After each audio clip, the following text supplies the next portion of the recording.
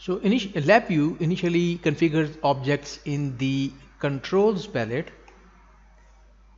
as controls or indicators based on their typical use. For example, if we place a toggle switch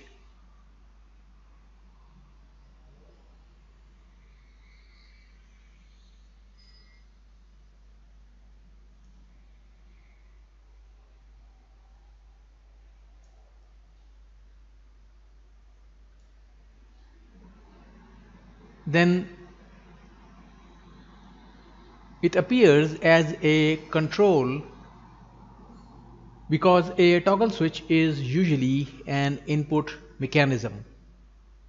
If we place an LED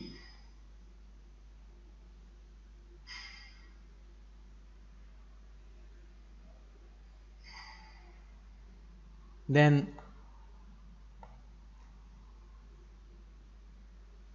It appears as an indicator because an LED is usually an input device.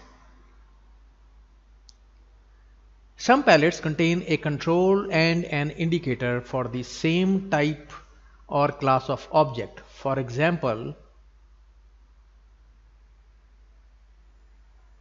the numeric palette contains a numeric control as well as a numeric indicator because we can have a numeric input or a numeric output. We can change a control to an indicator by right clicking the object and selecting